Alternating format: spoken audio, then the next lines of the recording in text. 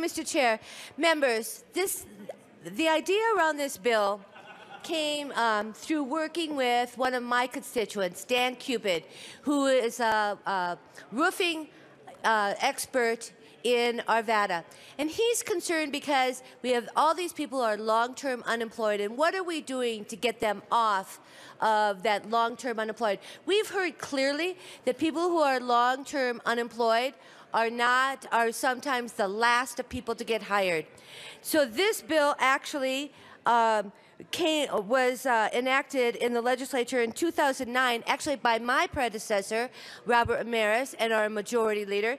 And they, uh, during the time of this bill from 2009 to 2014, this program showed tremendous results.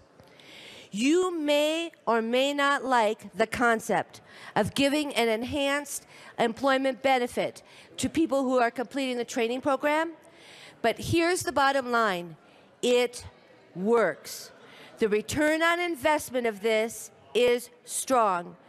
The data shows clearly that, that when people are just involved in the WIA, the Workforce Investment Programs, that 51% of those people become unemployed, become employed. If you are involved in the workforce investment programs, plus you are on unemployment, about 54% of those people become employed. In this program, people who are involved in training, employment, and the enhanced employment, over 72% of those people find permanent work. This program works. The data is being collected. The outcomes show it is effective. We ask for your support. Thank you. Representative